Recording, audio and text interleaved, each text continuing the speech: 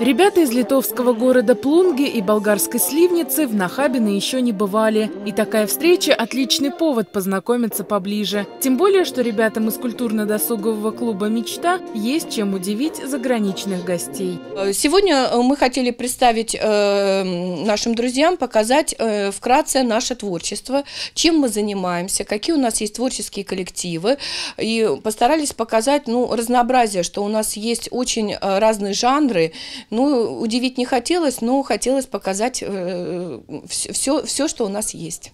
На сцене танцевальный коллектив «Карнавал», вокалисты и юные актеры. Участники театра мюзикла сейчас как раз репетируют новую постановку, и один из номеров впервые представили публике. Для творчества, говорят руководители клуба, нет возрастных рамок. Здесь переплетаются детство и юность, молодость и опыт. Именно поэтому в концерте приняли участие и артисты старшего поколения, фольклорный ансамбль ансамбль. Гостям такое разноцветие ярких выступлений должно обязательно запомниться. От имени всех я э, скажу, что это был э, замечательный э, миг для нас.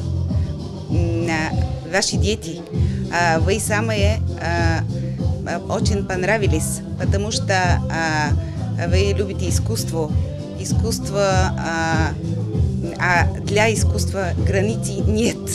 Вы сделали а, этот день праздник для нас. Гости из городов-побратимов в долгу не остались. Коллектив «Джентльмены» вышли на сцену удивлять виртуозным исполнением литовских песен. И им это удалось.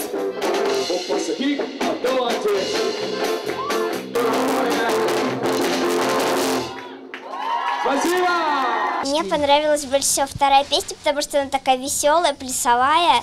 Под нее очень весело танцевать. Было бы почти непонятно, что в ней поется, но все равно очень весело. Ой, просто супер, мне так понравилось. Это так... У меня такое настроение прямо так и сразу передавалось со сцены. И сцены прямо так... И мальчики так, такие красивые. И, конечно, какой же праздник без подарков? Картина и эксклюзивные украшения ручной работы помогут надолго сохранить память об этом вечере и о новых друзьях. Валентина Титова, Никита Рощин, Марьяна Быстрова, КРТВ.